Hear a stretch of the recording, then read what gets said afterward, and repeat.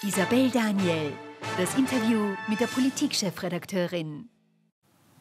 Es ist ein Fall, der ganz Österreich erschüttert. Die Rede ist von einem zwölfjährigen Mädchen, das monatelang von 17 Tatverdächtigen vergewaltigt worden sein soll.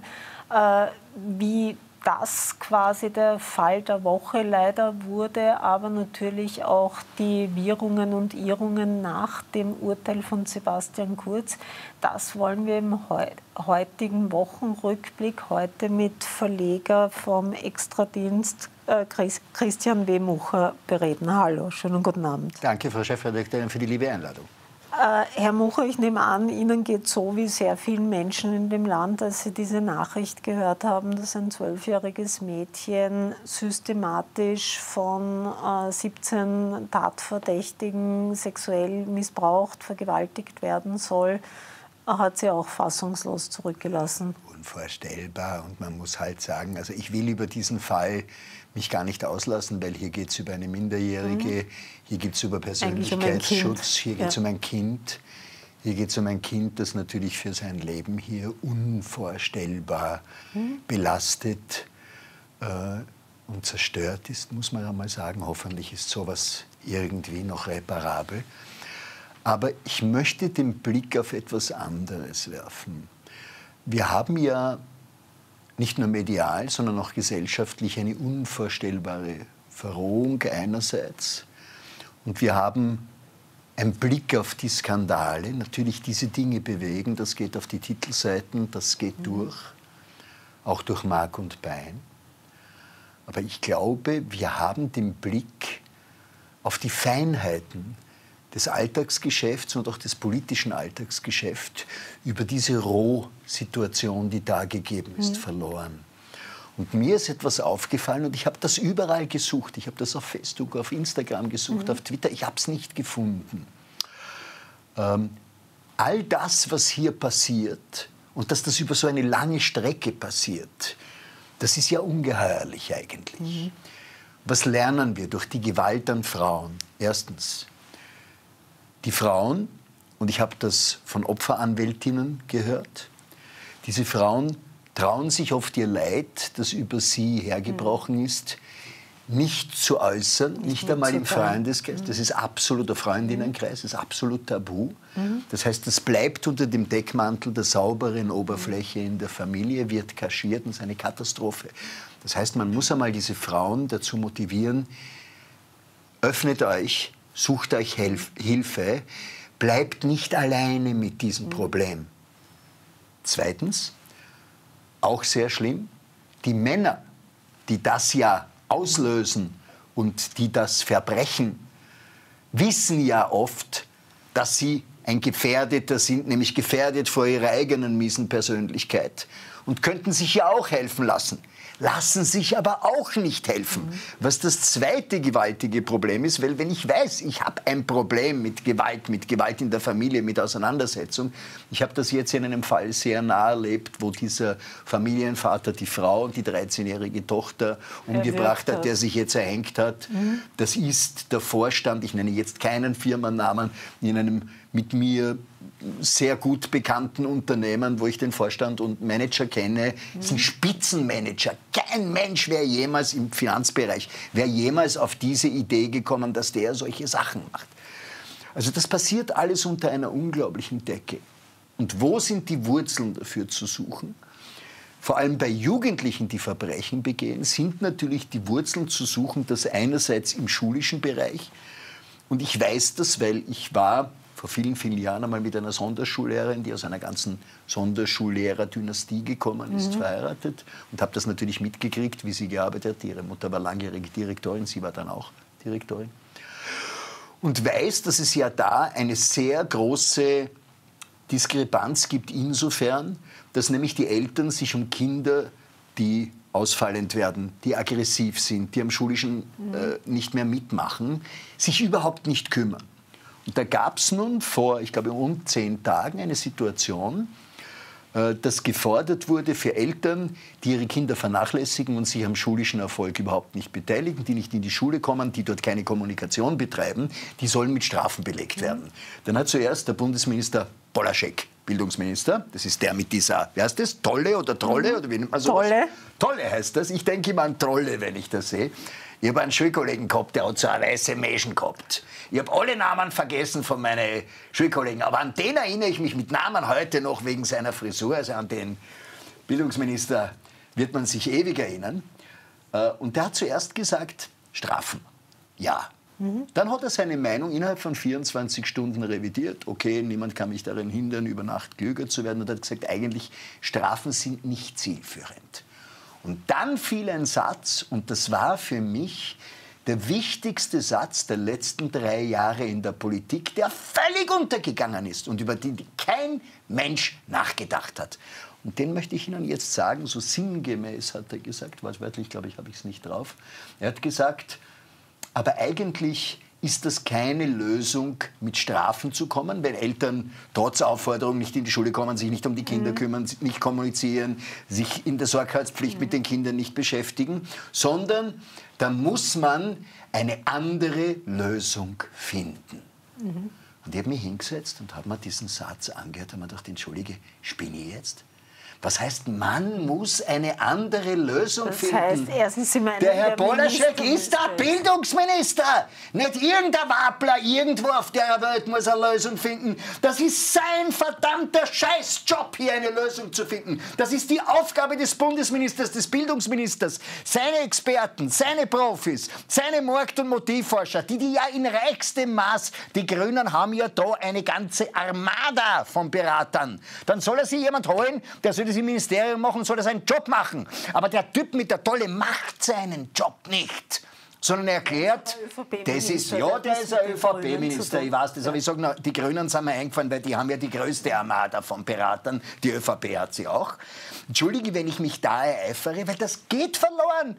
Der sagt es und keiner reagiert und die lassen ihn damit wegkommen. Herr Bundesminister, schämen Sie sich. Sie machen Ihren Job nicht. Es ist Ihr Job. Dafür werden Sie fürstlich bezahlt dass sie solche Probleme einer Lösung zufügen und nicht, dass sie sie rausreden und dass sie sagen, da muss jemand eine Lösung finden. Wer muss eine Lösung finden? Wozu haben wir Minister? Dann soll er heimgehen, bitte. Er soll heimgehen.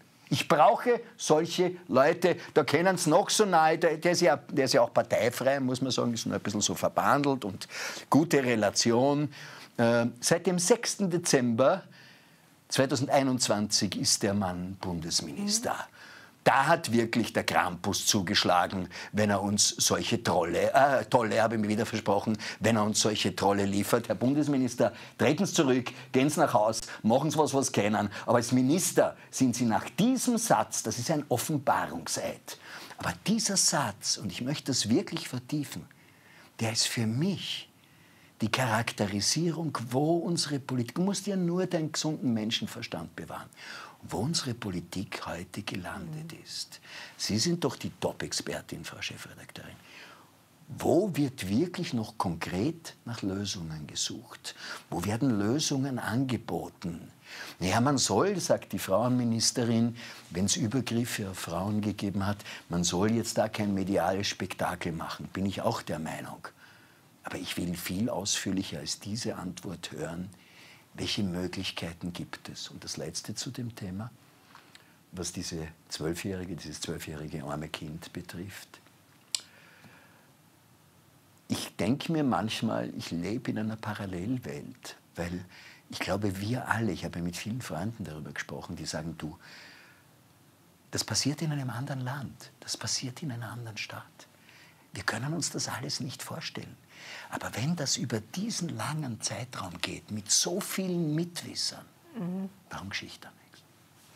Gut, da muss man jetzt dazu sagen, dass das Mädchen äh, sich geschämt hat, das irgendjemandem zu erzählen und erst offenbar sehr spät der Mutter dann erzählt hat, was vorgefallen ist. Also und sie wollte auch, glaube ich, nur ihre Aussage dann mit dem Opferanwalt treffen, genau. was ich auch also, verstehe. Was absolut verständlich was ist, ich auch verstehe, natürlich klar. Zwölfjährige ist ein Kind, ja, ja. also das ist natürlich in so einer Situation dann auch noch öffentlich. Das willst du ja gar nicht überlegen, was da passiert und ich kann nur hoffen, wir haben Gott sei Dank ein sehr, sehr gutes Analyse- und Betreuungs- und Begleitungssystem in Österreich und das muss auf Krankenkasse gehen die nächsten zehn Jahre Und da musst du halt dein Leben lang begleitet werden. Okay. also ich habe einen Freund, der, der als junger Bursch in, einem, in, einem katholischen, in einer katholischen Organisation, ähm, äh, nichts gegen die Heilige Katholische Kirche, aber die ist ja der Weltmeister, äh, misshandelt und missbraucht worden ist. Und der ist jetzt so alt wie ich, nämlich 69. Und der hat es mit 69 noch immer nicht weggesteckt. Gut, das, das, glaube ich und deswegen sollte es tatsächlich eine lebenslange Betreuung geben. Äh, ich würde gerne, bevor wir in eine ganz kurze Werbepause gehen und dann über den Fall Sebastian Kurz weiterreden. Äh, Sie haben das jetzt schon angesprochen, auch die Frauenministerin hat sich jetzt geäußert, es hat jetzt in letzter Zeit viele Morde an Frauen gegeben. Sie haben schon den einen Fall beschrieben, äh, das eigentlich äh, gute Mittelschicht oder sogar höhere Mittelschicht, ähm, wo keiner vermutet hätte, dass der am Ende dann seine Frau und sein eigenes Kind erwürgt, also auch ein 13-jähriges Mädchen. Dann gab es diese, diese Morde äh, im, im quasi Rotlichtmilieu und überhaupt scheint die Gewalt zu steigen. Wie sehen Sie das? Gewalt war immer da. Die. Gewalt war immer subkutan da. Die Gewalt ist immer, also ich glaube, das wissen wir ja heute aus jedem schlechten Krimi. Der Mörder ist nicht der Gärtner, der Mörder ist meistens ein Familienangehöriger. So ist das halt. Das ist halt, Gewalt in der Familie ist was Furchtbares, Toleranz ist was Furchtbares, Reden, wir reden nicht mehr, wir kommunizieren weniger. Ich glaube nicht, dass es brutaler und mehr geworden ist. Mhm. Ich glaube einfach durch, durch, die Kommunikation und durch die neuen Medien und durch, das massive, durch den massiven Transport einfach das Wissen über die Dinge sich viel schneller, breiter verbreitet mhm. und das Wissen da ist. Das müsste aber schon dazu führen, dass wir halt, dass jeder sich bei der Nase nimmt, weil noch einmal, es ist kein Delikt, das in einem das ein milieubedingtes Delikt ist. Das weiß jeder. Es gibt in allen Schichten, in ja. allen Schichten Gewalt in der Familie. Mhm. Das ist eine furchtbare Angelegenheit und äh, man soll sich halt helfen lassen. Und ich kann jedem nur da draußen sagen, ganz gleich, was es ist, es ist zumeist eine Verletzung der Seele. Und ich sehe das so wie diese berühmte Geschichte, wenn du einen Sack auf dem Rücken hast und hast einen Stein ist das kein Problem. Und jede Diskussion und jeder Streit ist ein weiterer Stein in diesem Sack. Und irgendwann einmal wird dann der Sack so schwer, dass du stürzt und dann schmeißt du den Satz weg und dann richtest du deine, den Sack weg und dann richtest du deine Aggressionen gegen den, der um dich steht. Und ich sage, jeder, der Steine in seinem Sack hat, muss er, deswegen muss er ja kein Gewaltverbrecher sein, aber die Dinge entwickeln sich mhm. halt. Und da gibt es ja eine sehr interessante These, nicht? Jeder von uns könnte eigentlich in die Situation werden, ein Gewaltverbrecher, kommen, ein Gewaltverbrecher oder ein Mörder zu mhm. werden. Mhm. Und manchmal geht das sehr, sehr schnell. Mhm. Ohne eigenes Zutun sogar, wo etwas passiert, es löst sich ein Schuss oder was weiß ich was. Gut, das ist aber wieder was Ja, ja, aber ich meine, ah, ja. ja, ja. Äh, schon zum Abschluss dieser Runde, Sie verfolgen ja auch die sozialen Medien. Sie haben das jetzt äh, äh, explizit nicht gemacht, aber Sie wissen, dass natürlich jetzt auch ein starker Konnex auch bei einem zwölfjährigen Mädchen mit äh, Ausländer und äh, Asylwerber. Äh, ist das Ganze jetzt Wasser auf den Müllen der Freiheitlichen? Naja, also natürlich ist das immer Wasser auf den Müllen der Freiheitlichen, aber es ist ja nicht nur so, dass in diesem Bereich die Freiheitlichen oder jene, die wir halt als mehr rechts positionieren würden, hier Forderungen stellen, sondern ich sage ja immer das, das Gleiche. Ich sage, wir sind ein Land, wir haben Regeln, Immigration halte ich für wichtig. Niemand wird unsere Pensionen bezahlen, wenn wir nicht kontrolliert und vernünftig mhm. Immigranten hier hereinlassen und ihnen helfen. Mhm. Der wunderbarste Satz, den ich so liebe, heißt, äh, ich helfe dir, dass du es alleine schaffst. Mhm. Also wir müssen diesen Menschen helfen, dass sie es alleine hier schaffen. Und dann gibt es halt zwei verschiedene Kategorien, oder wenn man es einmal auf, auf, auf, das Grobe runterbricht. Es gibt die, die kommen hierher, die wollen hier bleiben, die wollen sich anpassen, die wollen sich einpassen, ja. die wollen sich auch an unser mhm. System einpassen. Wir haben hier ein System von Religionsfreiheit und, mhm. und großer Toleranz und ich weiß nicht was allem. Es ist ja ein wunderbares, offenes System. Und dann gibt es jene, die wollen es nicht. Und man sieht das bei denen, die es nicht wollen. Und das wird aber nicht abgestellt. Wenn ich in einer Schule eine Situation habe, dass dort ein Sittenwächter die Mädchen von den Burschen trennt und der Terrorismus betreibt und die Lehrer und die Direktoren verschließen die Augen und machen nichts diesbezüglich, dann können wir das nicht abschaffen. Der Typ, der da in diesem quasi Rotlichtmilieu, haben Sie gesagt, genau. der war ein Sittenwächter, habe Sie ja, glaube ich, gebracht als mhm. Headline, so nebenbei auch noch. Das heißt im Klartext, Zuwanderung ja, ich bin dafür, Zuwanderung kontrolliert. Und C, die Abu Dhabi-Methode. Abu Dhabi heißt, das ist zwar ein Schurkenstaat, aber wenn dort jemand mit 120 auf der Autobahn, die am Meer ist, fort, da kommen Pakistani, da kommen Inder, die sind alle irrsinnig lieb, die kommen aus Sri Lanka. Und ich habe mit vielen von denen geredet.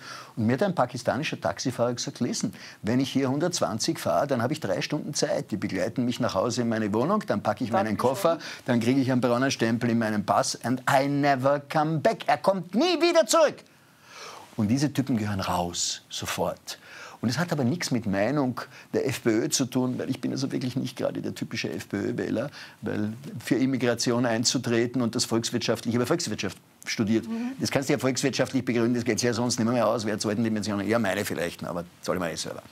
Aber verstehen Sie, und da glaube ich schon, dass wir gefordert sind, Zivilcourage öffentlich machen dort, wo Dinge passieren, frühzeitig eingreifen. Und das ist keine Vernaderung, sondern das ist ein Schutz von uns allen, solche Elemente, die kein Mensch hier braucht. Raus damit bitte.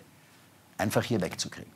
Gut, wir schalten in eine ganz kurze Werbepause und danach reden wir dann über Sebastian Kurz und das Urteil gegen ihn und die Aufregung jetzt über den Richter und äh, seine eigene Verurteilung in einem Disziplinarverfahren, das zwar nichts mit dem Fall an sich zu tun hat, aber dann doch irgendwie schon. Wir reden gleich weiter, bleiben Sie dran. Isabel Daniel, das Interview mit der Politikchefredakteurin. Willkommen zurück zu unserem Rückblick der Woche. Heute mit Christian Mucher. Schönen guten Abend. Und äh, ich würde jetzt gern zum Fall Sebastian Kurz kommen. Genau vor einer Woche ist ja das Urteil gegen Sebastian Kurz gesprochen worden. Das polarisiert ein bisschen Anwälte, aber das ist nicht sehr überraschend, wenn man weiß, äh, ein Urteil, zwei Anwälte, fünf verschiedene Meinungen. Aber jetzt gibt es ja auch noch Aufregung rund um den Richter, der dieses Urteil getroffen hat, weil da hat sich just am Montag nach Prozessende herausgestellt, dass er selbst in einem Disziplinarverfahren wegen Geheimnisverrat, weil er eine Info an Peter Pilz im Zuge des Eurofighter-Urschusses 2018 weitergegeben hat, die er nicht hätte weitergeben soll, verurteilt wurde. Was ergibt das für ein Bild? So ein Satz, grammatikalisch richtig. Das kann nur die Daniel in der Löwengrube. Ja, wunderbar, gratuliere. War wirklich sehr kompliziert. Das ganze Verfahren ist natürlich auch furchtbar kompliziert. Bevor ich jetzt erzähle, was ich erzähle, werden es wieder alle auf den sozialen Medien schreiben. Der Mucher und da sagt er wieder, er kennt wieder alle und er ist mit alle per Du und so.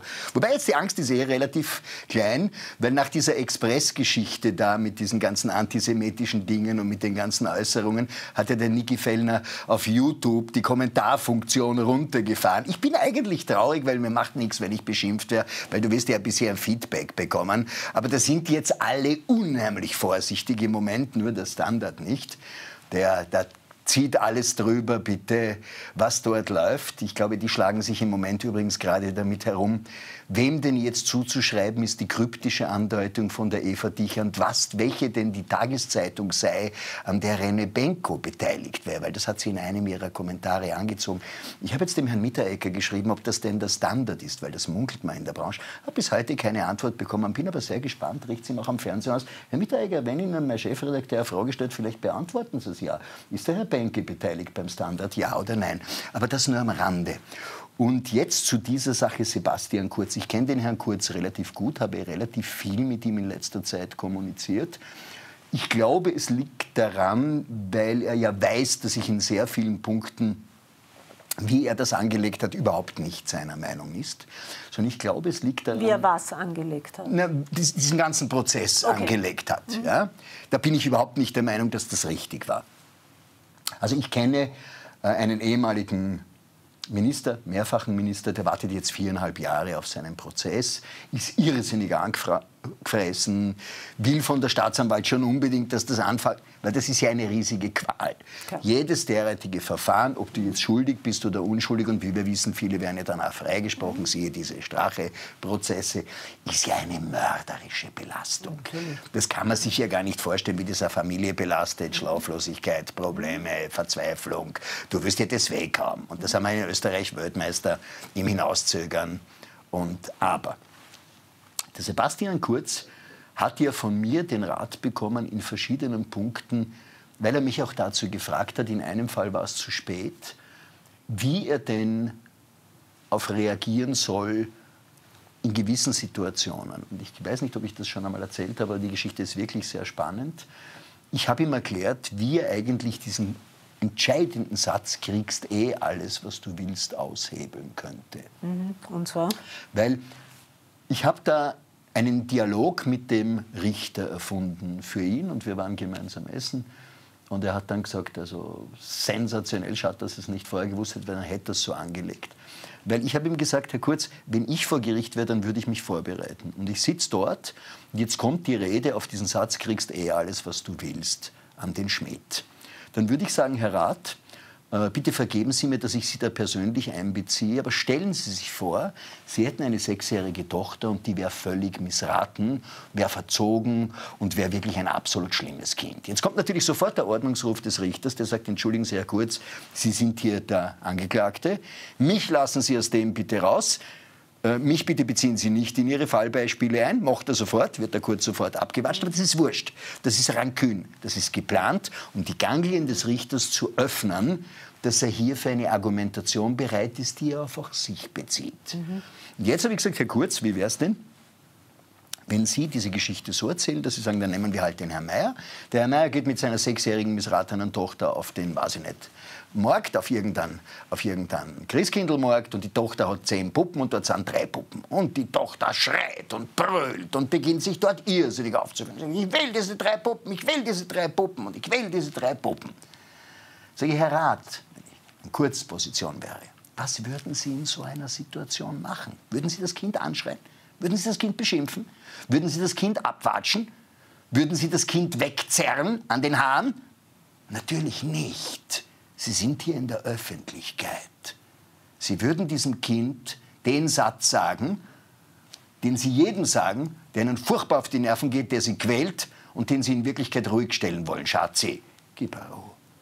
Kriegst eh alles, was du willst. Gut, da würde Dann, ich antworten. Ja? Na, also komm. Äh, das ist, äh, der Thomas Schmidt war kein sechsjähriges Kind, sondern war ihr ÖBAG-Chef und äh, als Bundeskanzler muss man sich nicht quasi von jemandem dann so äh, sekieren lassen. Also gut, also was die charakterliche Leistung des Herrn Schmidt betrifft, würde ich ihn eher als Fünfjährigen mit seinem Narzissmus, also da ist sechs Jahre noch weit gediehen, ja, einstufen. Da dass der sagen, Typ, aber dann würde ich als Richter sagen, wenn der so ist, Warum haben Sie ihn dann zum ÖBAG-Chef Ja, okay. Ich meine, things develop. Ich meine, ich glaube, dass der Sebastian Kurz ja gar nicht gewusst hat, was er sich da geholt hat, erstens. Und zweitens, das ist natürlich ein Schleimer und jemand, der sich dort, ich liebe meinen Kanzler und ich meine, liest man das alles durch, sagt man, entschuldige, quel flatteur, was für ein, was für ein Schmeichler. Wer braucht so einen Typen, um mhm. Gottes Himmels Willen? Und kennen hat er ja auch nichts und die Geiseln, die er befreit hat, eine großartige Leistung, bitte.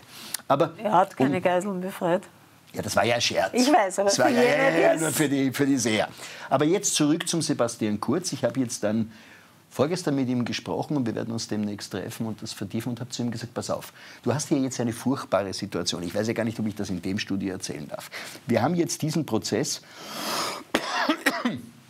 wo es also um acht Monate bedingt gegangen ist, wo er nur in einem von drei Punkten verurteilt wurde. Ja. Zudem gleich einmal was ganz Entscheidendes. Wir haben eine ganze Reihe von Anwälten gesagt, und auch Konservative, nämlich die konservativen Anwälte und Richter, mit denen ich gesprochen habe, und ich kenne eine ganze Reihe über Freundeskreis, haben mir alle gesagt, der Kurz wird nicht verurteilt. Die sind vom Sessel alle runtergefallen, noch dazu über die acht Monate. Zweitens, die Sozialdemokraten haben mir gesagt, er wird verurteilt, waren aber der Meinung in allen drei Punkten. Und jetzt kommt was sehr, sehr Interessantes Juristisches, was ich nicht besonders oft gelesen habe. Es ist vom Richter ein unheimlich geferntstes Urteil, also ganz genau überlegt. Das war mhm. schriftlich ausformuliert und ist lang überlegt. Mhm. Den letzten Prozess, da hätte er sich bohren können mit den Russen, dass er nur in einem einzigen Punkt verurteilt ist. Weil jeder, der sich mit der Strafprozessordnung und der sich mit dem Instanzenzug auskennt, weiß, es wäre relativ einfach, wenn du in allen drei Punkten verurteilt wirst, wenn das in die nächste Instanz gehst, irgendwo einen Haken oder eine Öse zu finden in einem dieser drei Punkte, dann geht das zurück zum Staat mhm. oder das Urteil ist nichtig und hurra, das Ganze wird zu einer ähnlichen Geschichte, siehe Karl-Heinz Krasser. Aber nur ein einziges, ein einziger von drei Punkten, und das ziemlich fein formuliert, und ihn dort hops gehen zu lassen und ihn dort zu verurteilen, ist, wie mir jeder sagt, unheimlich schwer in der nächsten Instanz auszuhebeln. Ich glaube nicht, dass es aushebeln wird. Er hat mir persönlich gesagt, also da war auch ein Schimpfwort dabei, aber das will ich ihm nicht antun, dass ich das wiederhole. Aber er ist wirklich immens emotionalisiert und hat zu mir und ich habe ihn dann gefragt, sage ich Sebastian, wenn du in einer Situation bist, dass du gewusst hast, was da passiert. Und du wärst jetzt in einer Situation, dass du jetzt noch einmal entscheiden könntest am Anfang des Prozesses, wie lege ich das an. Hättest du eine Diversion gewählt, so wie das die, die Kasach-Generaldirektorin Glatzkremsner gemacht hat. Die hat 105.000 Euro bezahlt, das ist ja wurscht, die hat ein super Jahresgehalt gehabt, kauft sie sich kein Porsche Cayenne in der Pension, verstehst du, was ich meine, was soll's. Also, und es ist weg, es war kein Prozess, es waren keine Probleme, es ist alles weg, es ist alles, alles, ist alles weg. Und habe ihm gesagt, schau, was hast du denn jetzt gemacht? Erstens, Du hast den Schmidt zum Grundzeugen hochstilisiert. Das ist tödlich bei den nächsten Prozessen, die kommen. Weil wenn wir jetzt reden über die Inseratenaffäre, über das Beinschab-Tool, dann haben wir drei von vier Tageszeitungen, wo namhafte Manager dann bitte ins Scheinwerferlicht kommen werden. Und das wird ein Gemetzel werden. Und ich habe das schlechte Gefühl, das wird noch vor der Wahl losgehen. Ich glaube, die werden das machen. Die Staatsanwaltschaft wird das durchziehen. Vor ich höre da, ja, ich höre da einiges und ich bin ganz gut vernetzt, wo man mir sagt, das sollte jetzt eng werden. Da muss man dann dazu sagen, wer wird rauskommen zum Beispiel, wer wird nicht rauskommen. Das will ich in diesem Studio nicht ausführen. Das sollen die Gerichte machen, das soll die Staatsanwaltschaft machen. Faktum ist nur, bei dem geht es dann nicht mehr um eine bedingte Strafe, wo du rausgehen kannst, sondern da reden wir über unbedingte und Haftstrafen. Und da wird es dann wirklich ernst, vor allem auch für den Sebastian Kurz und seine Entourage, aber auch für drei Verlagshäuser in Österreich, wo es sehr, sehr unangenehm wird, wie Eva Dichand darauf mit ihren drei Kommentaren reagiert hat, mit dreimal ganze Seite in der Tageszeitung heute, haben wir alle gesehen habe ich sehr gewundert, dass die Frau Edstadler dann einen halbseitigen Kommentar am Tag darauf geschrieben hat und mir gedacht, wow, sie schmeißt sich jetzt auf die Seite der Frau Dichand und das nachvollziehbar. Ich glaube, es war auch noch ein Staatssekretär, der das auch gemacht hat. Also hier beginnt man sich zu wehren. Was auch in Ordnung ist, sich mit einem Vergewaltigungsopfer zu vergleichen, halte ich nicht für vernünftig von der Frau Dichand. Das ist ihre Entscheidung. Aber es gibt noch einen Punkt und den hat die Frau Dichand mit dem Herrn Kurz gemein. Und das habe ich auch beiden erklärt, das habe ich auch dem, dem Sebastian Kurz erklärt sich Anführungszeichen lamoyant zu verhalten. Und das ist lamoyant. Sebastian Kurz hat sich immens lamoyant. Er hat ja fast geweint vor Gericht. Auch mir gegenüber. Das ist, unheimlich viel Emotion. Und der war doch immer ein cooler Typ, cooler Socke, geiler Mobil, lustiger Typ. Ich habe den Sebastian Kurz kennengelernt. Da war er ähm, Staatssekretär mhm. im Innenministerium. Da man, konnte man entweder von vorne oder von hinten übers Platzl her. Ich bin von hinten reingegangen, wurdest du perlustriert, Innenministerium, Klar. Polizei. Mhm. Dann hat der Portier gesagt, Sie warten hier. Und ich dachte, na, servus, hab gewartet. Und zwei Minuten später kommt er kurz über die Treppen runter. Und ich schaue den an und sage, Herr Staatssekretär, kommen Sie immer oder haben Sie was herunten noch zu tun? Dann warte ich. Und er schaut mich an und sagt, na, wenn ein Mucher kommt, dann hole ich ihn doch persönlich herauf. Und ich habe mir gedacht, scheiße, der ist gefernst, der ist mhm. clever.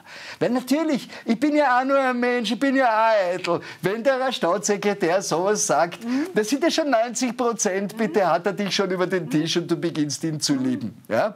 Gut, ich habe versucht, meinen distanzierten Blick zu bewahren, aber das ist schon, also. Und das hat er mit, der kann das, der hat das wirklich gut gemacht. Und was er jetzt gemacht hat, ist meiner Meinung nach strukturell, politisch und auch vom Anlegen der Sympathie her das völlig Falsche. Da gibt es so viele Beispiele. Wenn du einen Fehler gemacht hast, sieh es ein und korrigiere es. Mhm. Ich habe mit einem ehemaligen Minister, der schon dreimal Minister war, jetzt könnte man vielleicht drauf kommen, wer das ist, habe ich gesprochen und habe zu ihm gesagt, sag einmal, hast du jemals in deiner Ministerzeit irgendeinen Job nicht du besetzt? Und er gesagt, Blödsinn, Christian, natürlich, jeden habe ich besetzt. Der Kurz sagt in diesem sagenhaften Wolf-Interview, wo übrigens was sehr Interessantes passiert ist. Vielleicht ist Ihnen das aufgefallen. Der Kurz streckt den Armin Wolf die Hand hin. Und der Armin Wolf lässt diese Hand in der Luft.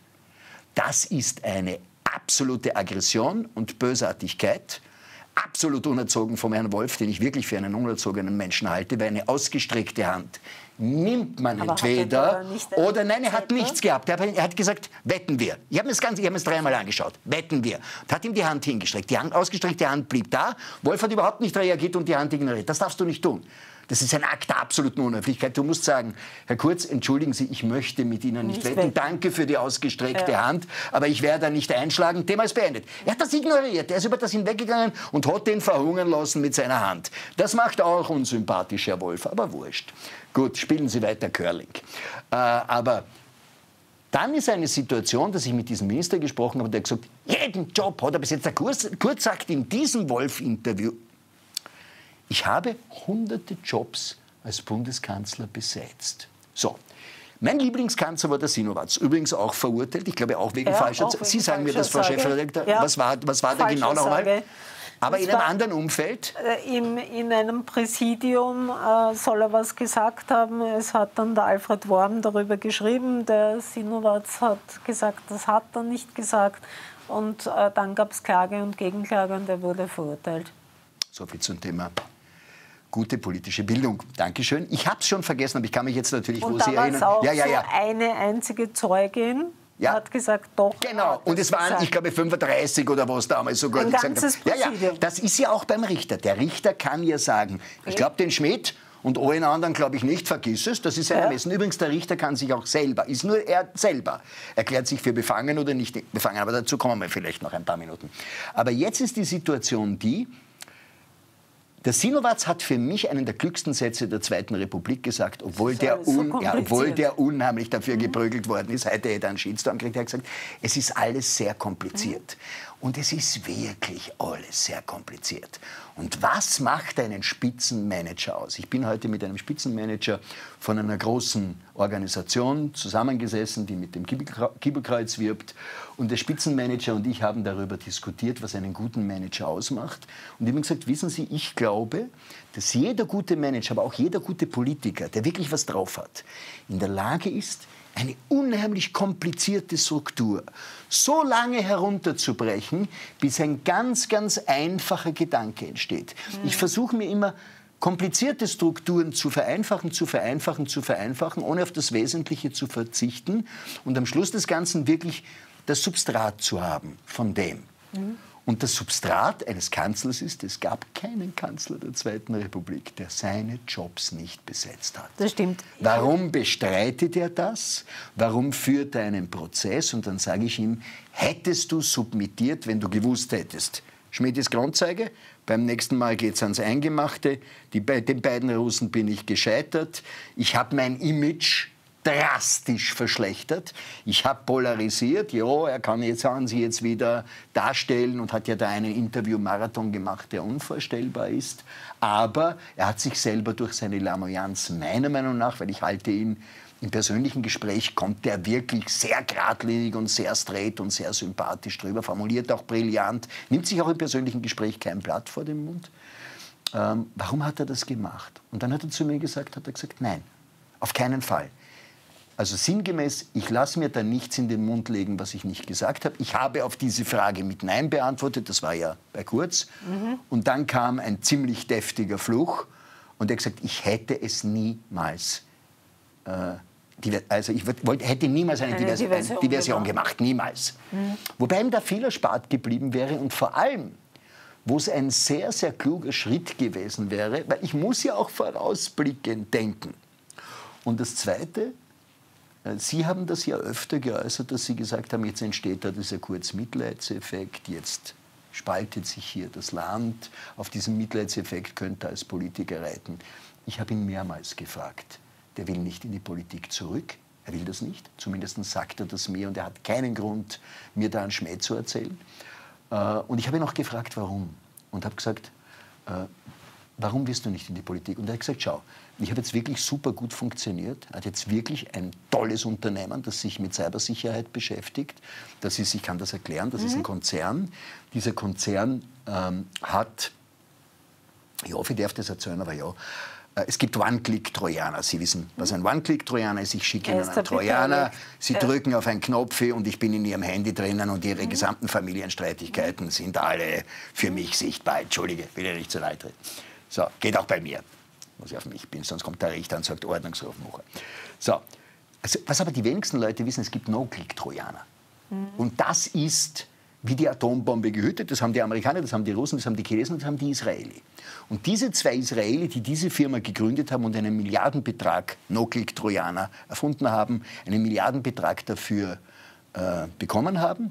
Mit diesen Israeli hat sie da kurz jetzt zusammengetan mhm. und die haben eine Art Cybersecurity-Firma, suchen sich große Konzerne, sagen den großen Konzernen, die ein möglichst großes Netzwerk haben, wir durchforsten jetzt dein Netzwerk und schauen uns an, hast du sowas in deinem Netzwerk drin? Dann bereinigen wir das, dann gibt es einen Schutz davor, dann überwachen wir das auch, dass das nicht passiert, sonst wirst du ausspioniert, hast ein Problem.